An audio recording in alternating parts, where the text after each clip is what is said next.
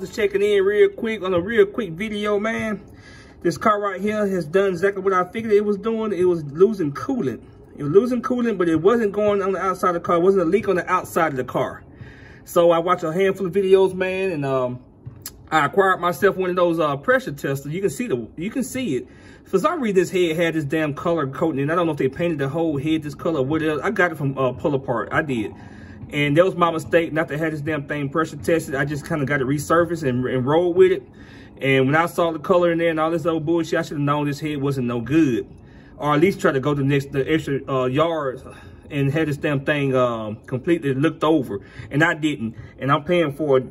Uh, I'm, I'm, paying for it. As you can see, you see where it's uh, clean and shiny it.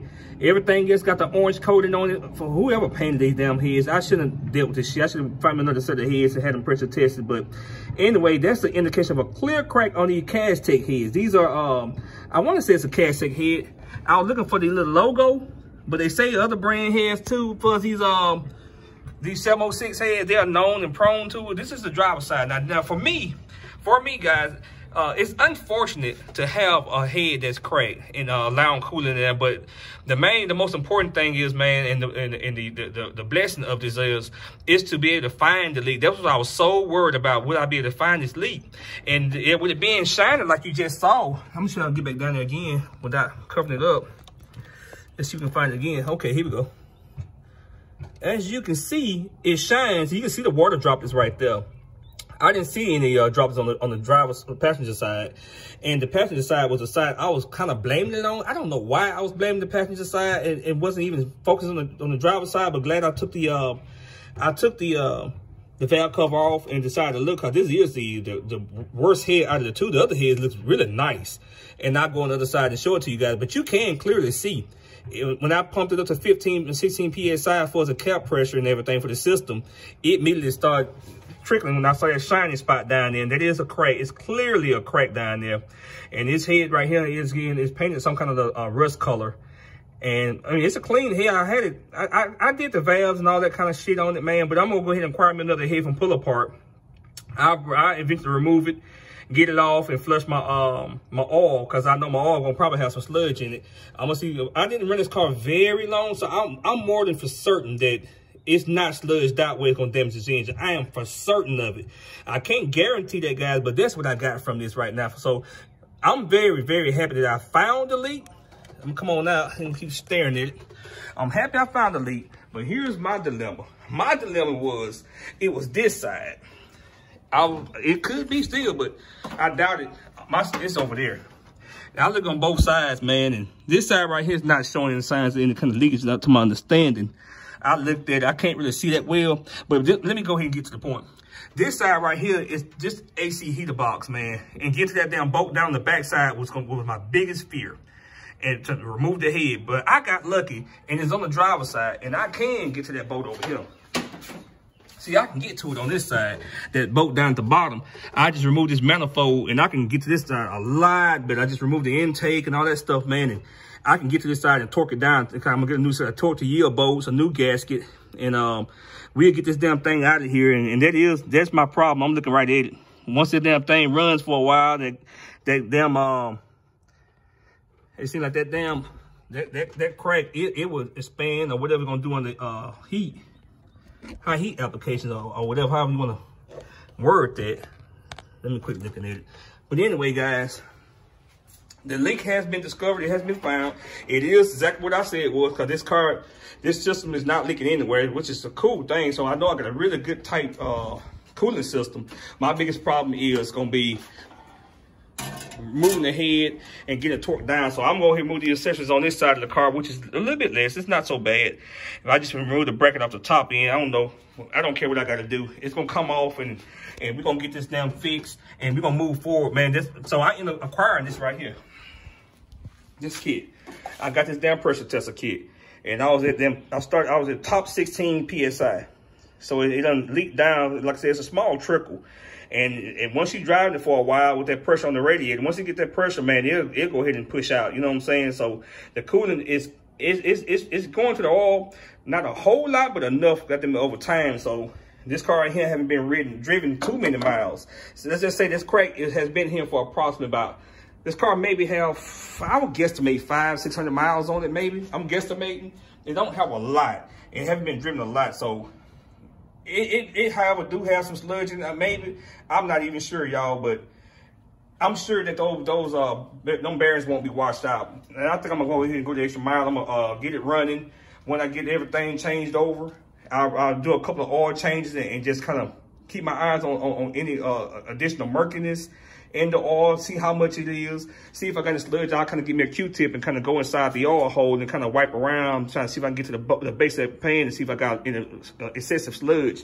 And then I'll probably run some kind of, uh, some kind of, uh, uh, engine degunk or whatever, you know, you just clean it on out so I can flush the engine because I'm sure this right here is not at the point where it just completely just washed those bearings out with a lot of sludge in them. I'm, I'm, I'm feeling very comfortable about it.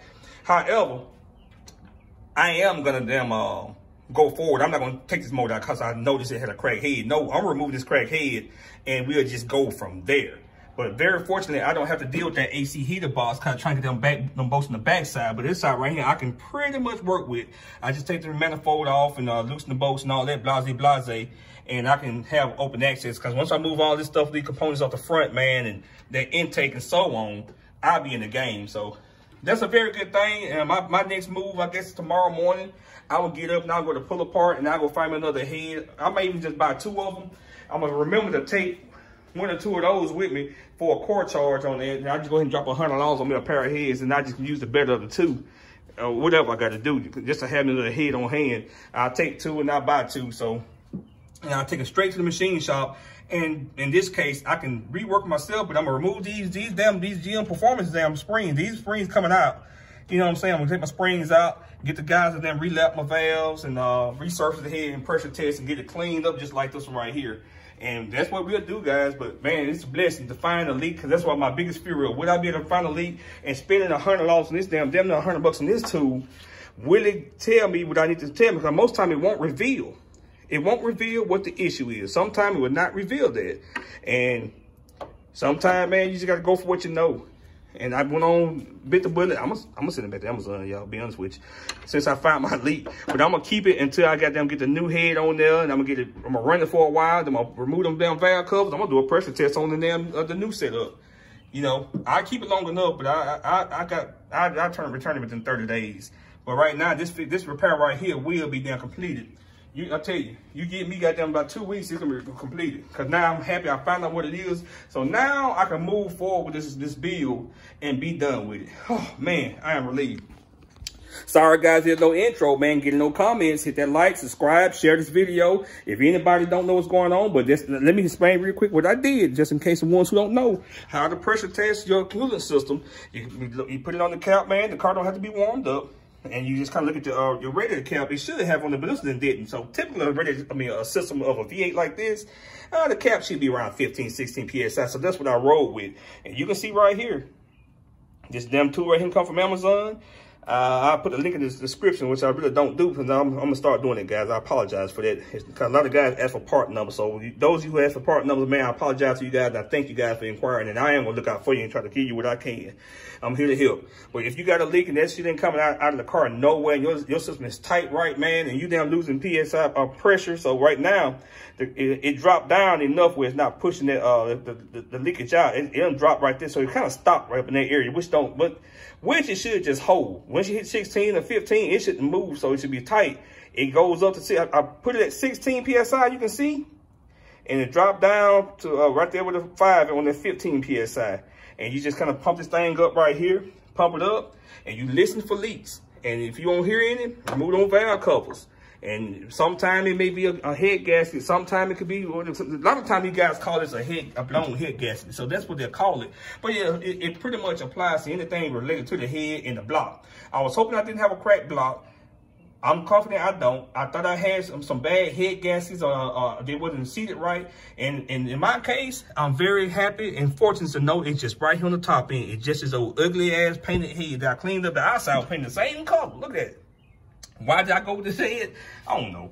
I don't know. He got a crack head, and it was that's what's going on, guys. And that that that's you'll see like sometimes guys you'll see some um you have like a little buildup of soot, build up on, uh, not soot, but you have uh, like all build up on inside your head sometimes, which is the dirty side right here. But you'll see a clean spot where the water at when it's rain and heat, heat cycle, heat cycle with that damn, that coolant. When you just saw that crack, it was shining that area. That is a telltale that possibly where is it. That's why I saw from uh, another video. I need to get that guy's name.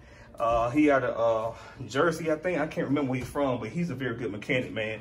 And I'm gonna, I'm gonna see if I can find his info and put it on there where you guys can follow him because he's very good.